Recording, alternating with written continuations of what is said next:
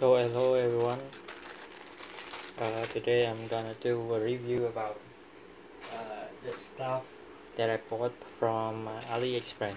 So let's check it all together.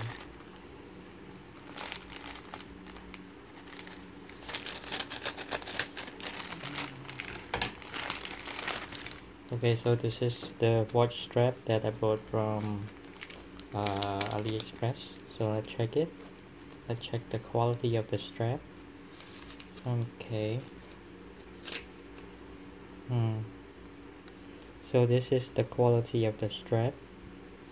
It is normal, and um, yeah, it's look very normal as you can see. Huh? Um,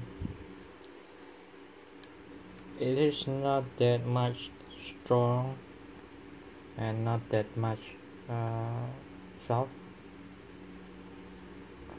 is normal okay so um it is usable and in here it said the genuine leather.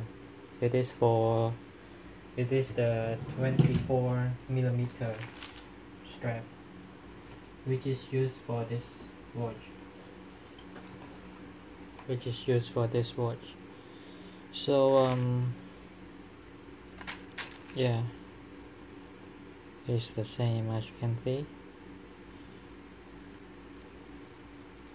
uh, I'm buying this in order to replace um, uh, the old one this one whether it is broken or something. So just to buy it in advance. Okay guys so I hope you enjoyed the videos. See you in the next review